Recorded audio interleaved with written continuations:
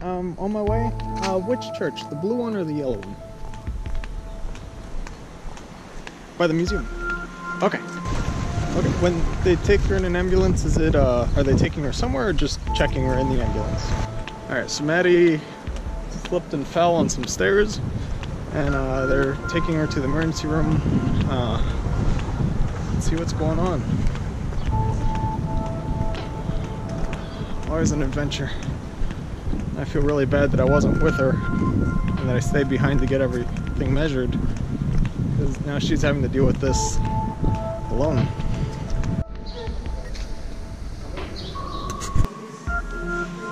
So they currently took Maddie back to get an x-ray of her ankle and see what's going on there. I don't know, the swelling doesn't look too bad, uh, but there is some swelling.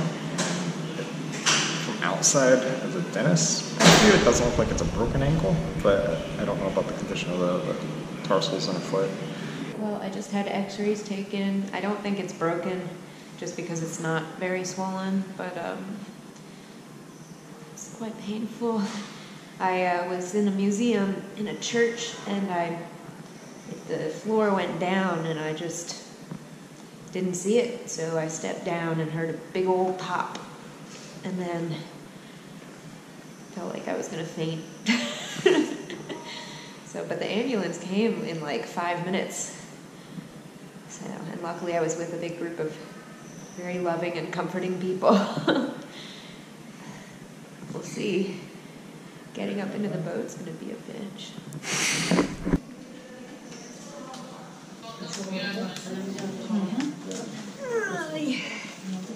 All right, they're too small. I need you make them bigger.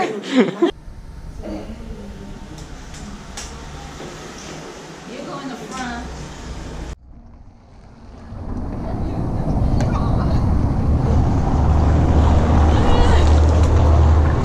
Okay, so after the little incident with Maddie's ankle, I'm back in the boat. We didn't come here yesterday. I stayed with Maddie to, in case she needed anything. It was hard for her to move around. So we stayed at our friend's house. But now I'm back at the boat. He dropped me off this morning.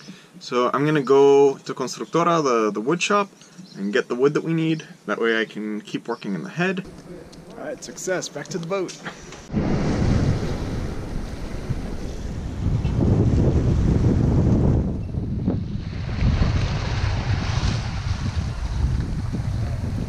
While our head is completely torn apart, I thought this would be an excellent opportunity to talk about what is a seacock?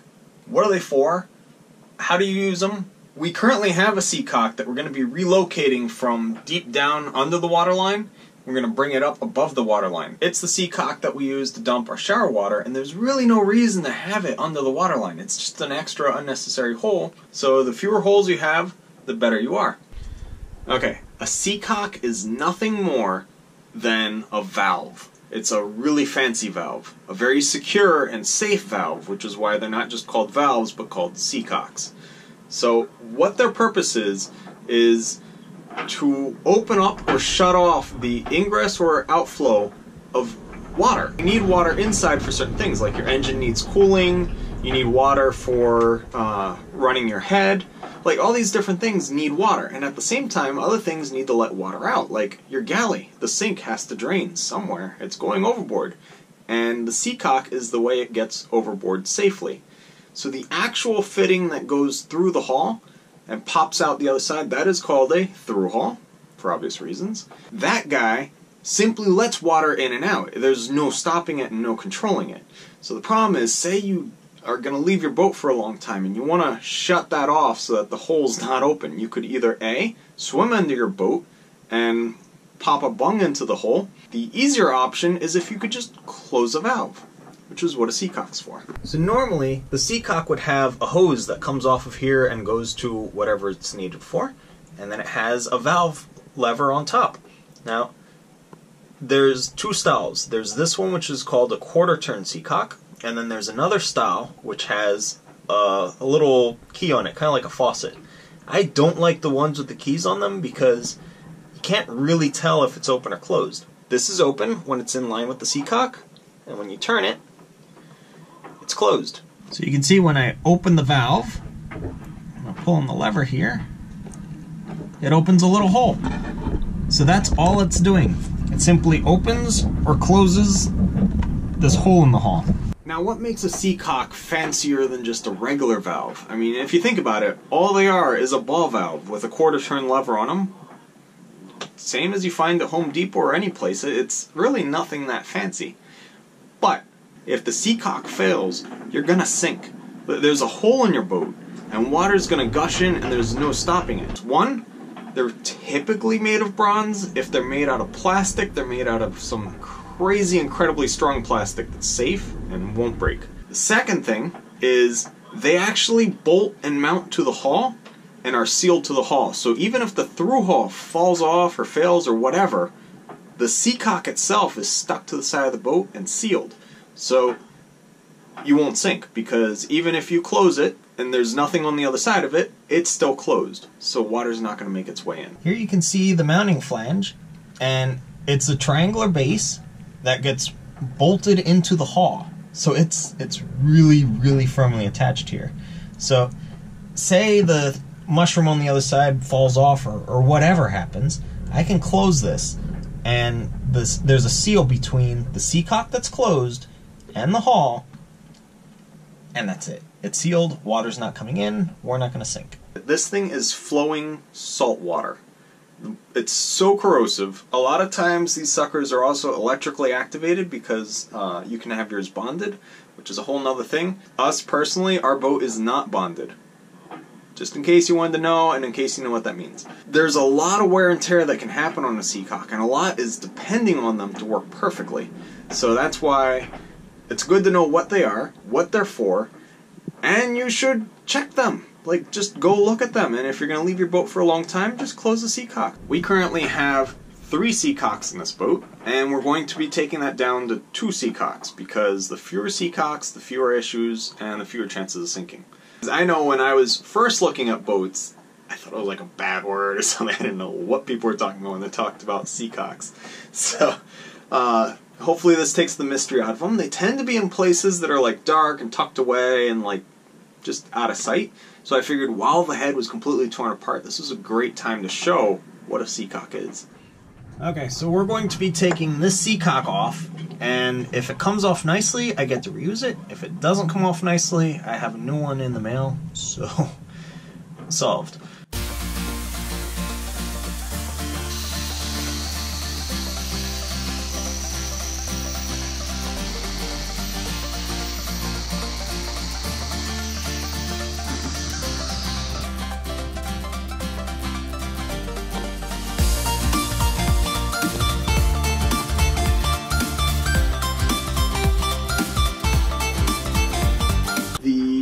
Hull is completely off. And this guy, this is what a seacock looks like. It's just missing its handle because I didn't put it back on yet. What I'm going to do now is I'm going to cover the hole with roving. It's really, really strong fiberglass. That'll be the backing so that way tomorrow or the next day or whenever the weather's good, I can grind out the hole and properly fill that seacock or that through hull.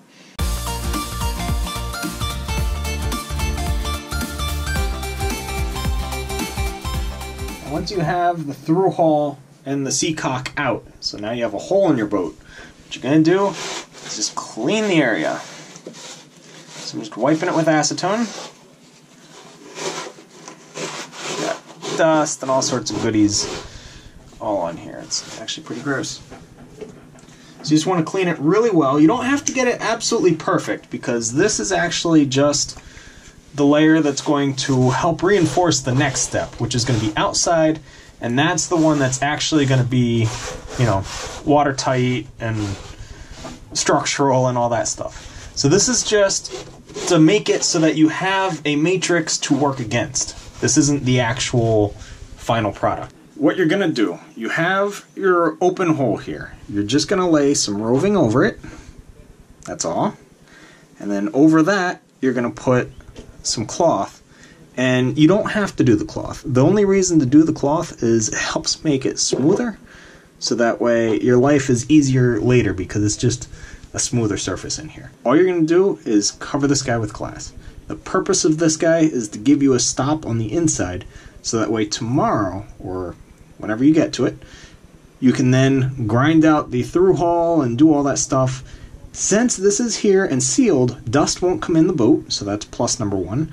And plus number two, this is going to be really strong, so it's going to be a really strong backing that you can then work against to get a very good layup outside. And you can push all you want, and you don't have to worry about pushing the laminate inside. So all you're going to do is mix up your epoxy, the same as normal. No, no special instructions there. You're just going to mix it up nice and plain. I'm using fast set, so it's got a bit of a caramel color here. So there's no additives, no fillers, no nothing. It's just plain resin. And we're just going to paint it onto the surface. So the reason you want to wet the area first is twofold. One, now there's already material, the, there's already resin under this piece of dry cloth that you're going to put on. And two, it helps hold the cloth there. So when you push on it, the wet resin is sticky. So it holds it there. And then your life is easier again because now you can put pa- uh, put pieces of cloth anywhere and they'll hold put. So this is really good when you're putting fiberglass on vertical surfaces because it'll hold still. As mentioned before, you already have resin under it, so you're partway through the wetting process. Otherwise, you have to saturate the outside so much trying to get all the fibers wet all the way through because if you only wet the outside and the inside stays dry, you're going to have a nice hard shell out here, but a poor bond in there.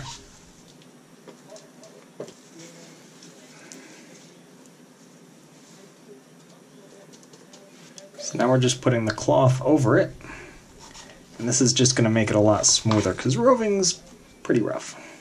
And once I get this middle portion covered, I'm going to lay the other cloth down over it.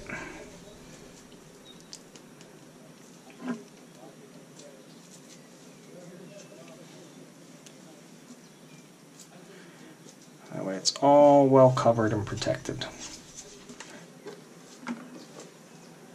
So there it is. Now it's really important to note this is not structural. This is not going to keep water out. This is only to give you a backing layer so that way when you do the structural part that will be watertight tomorrow after this is cured, you have a backing to work against. That is the only purpose of this layer. So the roving gives you the strength and then the cloth simply makes it smooth.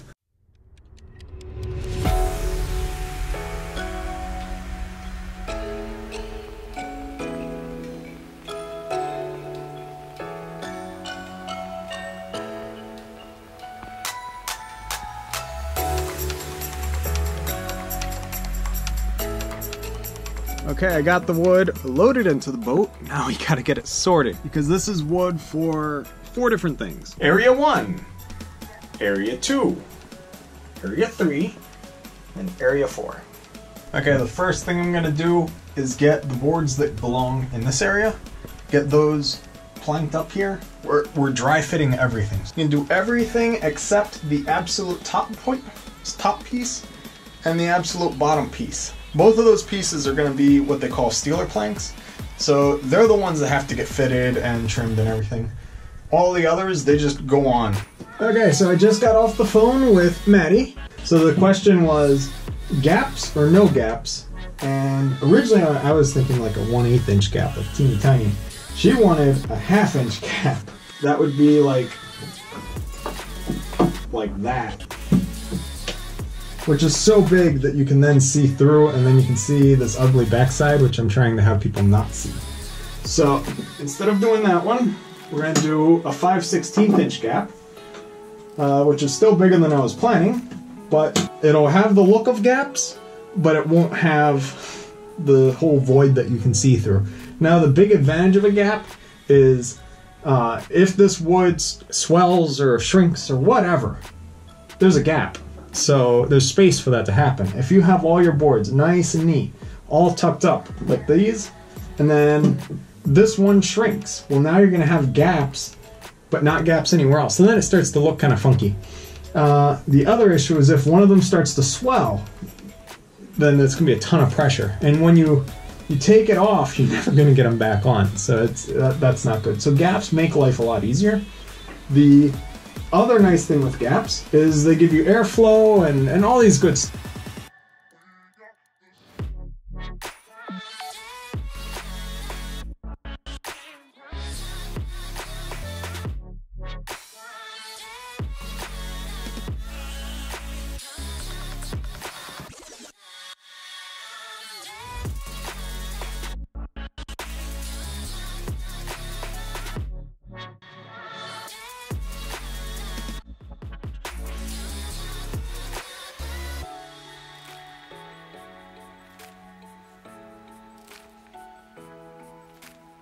Maddie just called me because apparently, with all the heavy rain we've been having, there's flooding in the town, so I'm gonna go check it out. So the Azores get a lot of rain, especially in the winter, which is when they call it the rainy season instead of winter. But today was just insane. It was just coming down like buckets on the boat. So I just stayed in and did some work rather than going out because no point in getting soaked. But apparently it was more rain than they usually get in this time of year.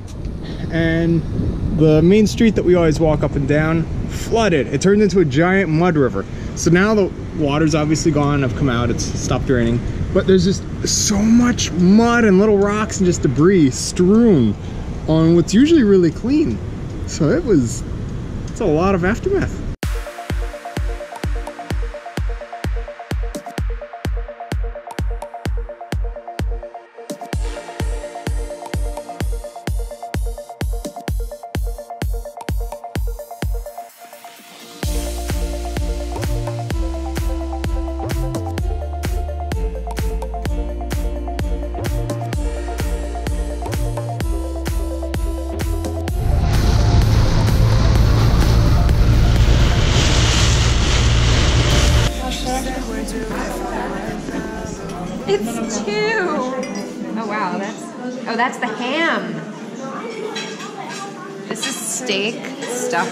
Ham with cream sauce And cheese. There's some cheese. and cheese.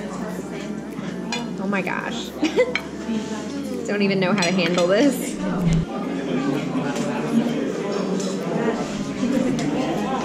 It stopped raining. Oh, Can't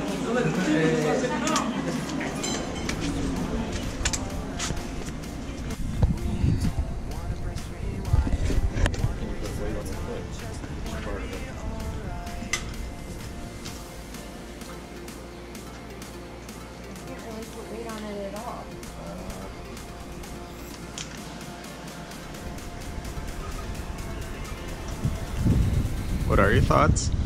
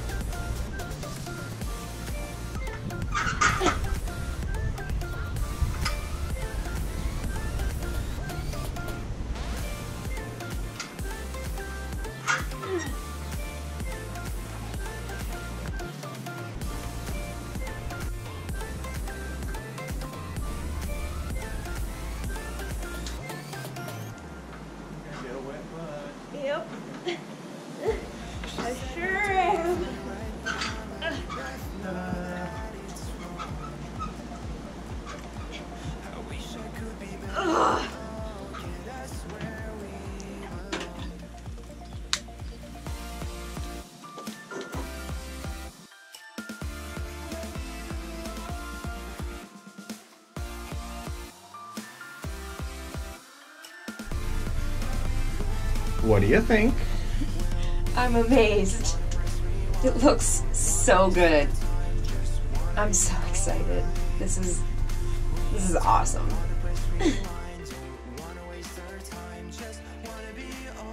I'm gonna attempt to get down the ladder. Instead of getting easier, this whole visa situation is just getting more and more frustrating. Thanks so much for watching. Be sure to like, subscribe, and share this video with your friends. And if you'd like to follow our journey in real time on a map, receive postcards from our ports of call, and message us directly to the boat, you can go ahead and become a patron using the link in the description down below.